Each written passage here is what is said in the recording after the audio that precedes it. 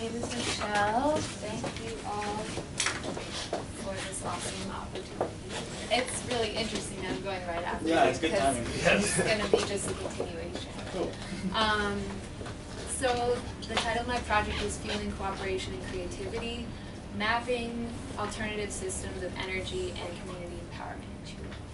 So I'll just give you a little personal background. I kind of approach this subject from a very practical sense. Um, about five years ago, I learned how to make biodiesel out of waste vegetable oil in Chicago using a method developed by Loyola University there. Um, but it's a community laboratory. So ever since then, I discovered the power of this extremely, well, it's almost carbon neutral to create, and um, it can be done in anyone's garage. So this just opened my eyes to all the possibilities of how communities can become more self-sufficient, more empowered, and um, less reliant on global fossil fuels. So I, it- initially I prepared this in Spanish. I thought we were going to be all doing it so thank goodness.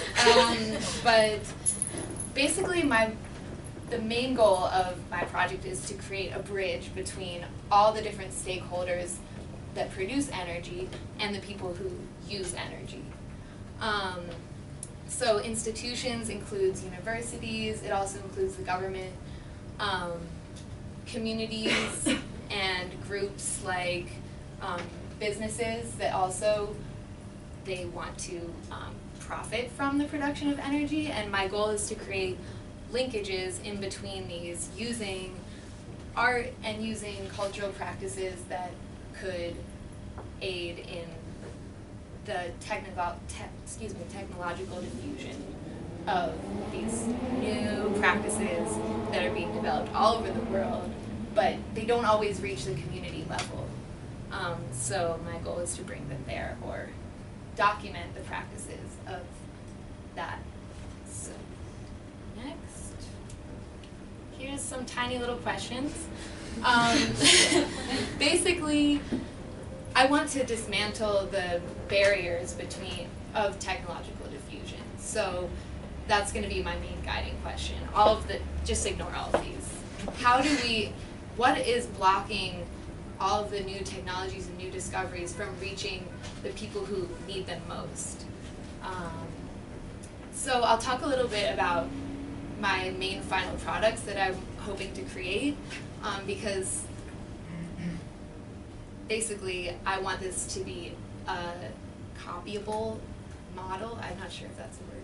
Um, a model that can be implemented in other places as well. Um, first off, whoops. I'll be creating some open source GIS files um, that compare uh, access to energy and access to resources to create your own energy.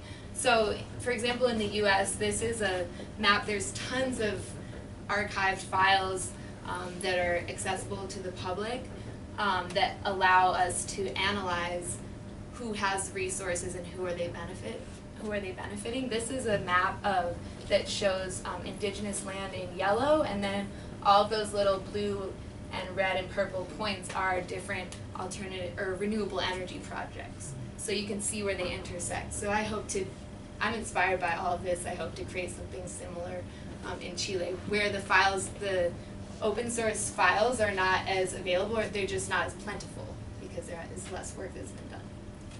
Um, next, one of my final products will be to have workshops and community happenings. I guess that's how you translate encuentro. Um, I think it's really important. Oh, this photo didn't show up. Um, it's really important to have these face-to-face interactions. Um, this was a photo of a laboratory in Temuco where I worked. It's um, a community laboratory uh, where they create biodiesel using that same method developed by Loyola University that was actually brought down to Chile by um, some people that I've worked with. So this is in Washington D.C. where we are building a biodiesel lab. I'm currently, well, I was living there just a, just a day ago. And um, in DC, we're using biodiesel as um, workforce development.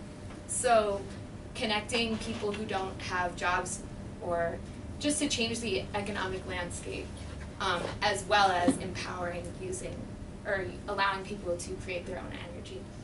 Um, so the talleres, the workshops are really where I think a lot of different stakeholders can come together, and I'll talk about one of my case studies here. Um, but it's basically where you could find a professor and a young kid in the same room learning the same thing. Um, let's see.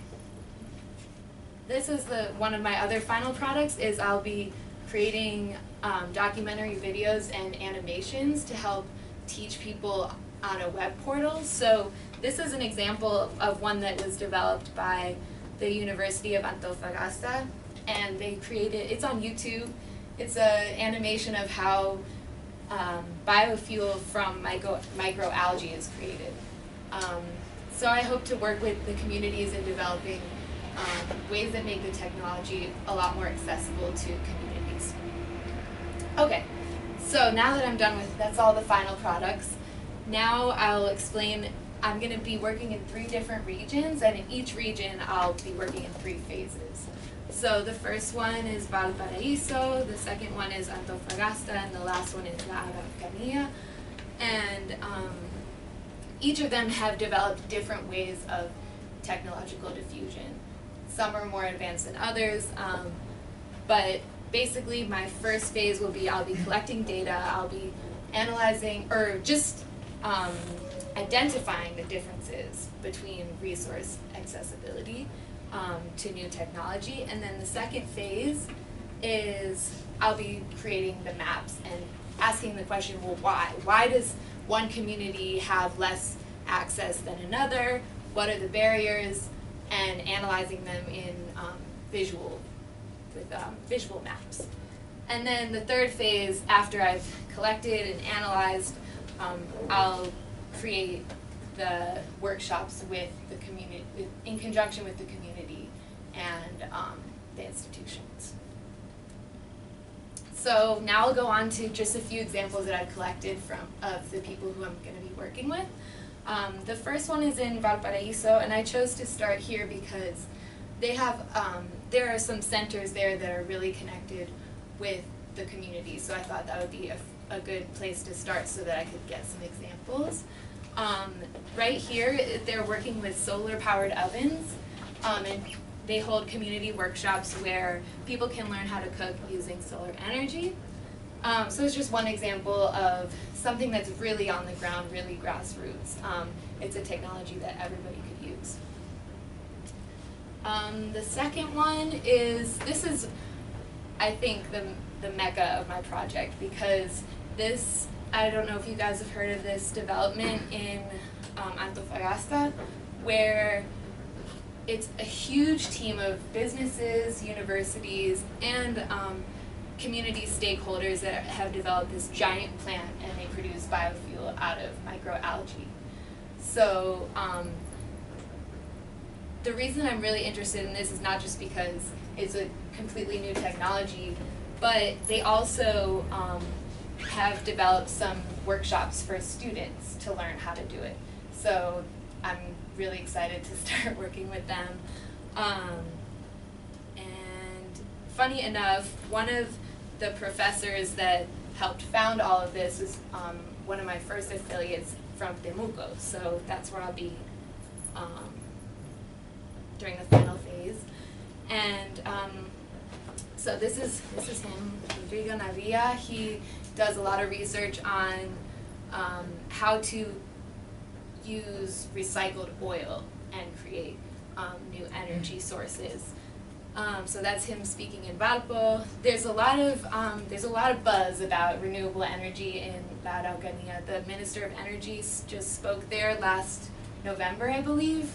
There was a Feria de Dentro Energía, um, where I guess he mentioned this statistic where basically this region is not reaching its potential at all. So I'm really curious to see what those barriers are, um, and also to work in this laboratory. It's called the Bioren, Bioren, Bioren, no sé, um, laboratory where um, Professor Navia is doing conducting all of this research. So um, I know that when I first met him, he had no idea that we were we had our laboratory um, already set up in Labranza, and um, so he was really excited to get those connections started. Um, and um, this is yeah, so this will be the final phase, and then upon the completion of that, I hope to somehow, whether it's online or maybe even face to face, I know there's kind of a large distance between those two. Um, create a forum where everyone can share um, all of the knowledge that they've that we've collected, and it's all going to be online as well. Um, so part of the project will be to develop a portal, um, but hopefully the final phase will include some sort of face-to-face interaction between all these stakeholders and all these disparate regions. But um, that is what I have, and let's talk about it.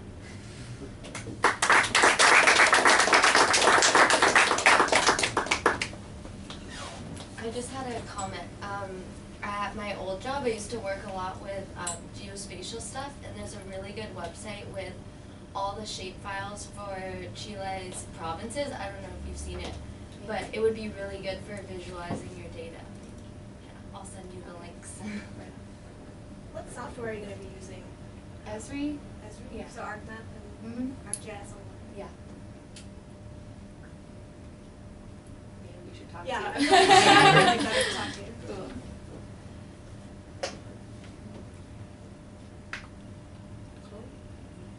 Since these issues are common, you know, for the entire world, why did you choose Chile? Um, I happened to live here before I studied here, and I've just met a bunch of people. Actually, um, the person who taught me how to make biodiesel had had been to live in Temuco, and so he mentioned, "Oh, you're gonna study abroad. You should go to Chile." So that's how I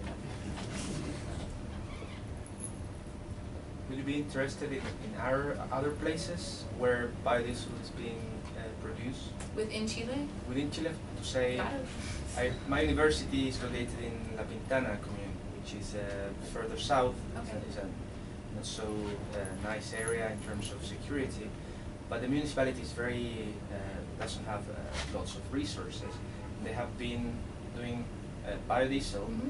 to fuel the truck which collects the um, Garbage, the trash? Yeah, but the uh, organic trash. Oh, okay. So they collect all because uh, in, in that area of Santiago it's, it's very common to see uh, sopaipillas. I don't know if you've Yeah. tried that. Fried sopaipillas, especially in the winter. Mhm. Lots of oil from the sopaipilla fry, uh, and they recycle that, and Mhm. with that fuel they fuel the, the truck. And it's very interesting because they're trying to get into the community. The community is quite close because they're very challenged. Okay. But they're getting there and they're doing lots of things. So if you want the contact Yeah. or see how it's working, I think Yeah. it would be a great place. Although it's in Santiago, I don't know. I'm open. No, I'm definitely open. Um, mostly, I chose these three regions because I that's what I found, Mhm. and that's what I heard. Word of mouth. That's what I heard. But I also heard there's a school in Puerto Montt Mhm. that is creating their own biodiesel um, to heat the school. So just I I chose three regions, but I'm sure I'll end up in plenty of other places. So yeah, that's time. Just like a fun comment, um, I've heard that in Chile they don't tend to use like heating a lot. Mhm. So maybe a fun project is uh, teaching kids how biofuel can be used for heating. And, you know, encourage people to develop more heating. so we gotta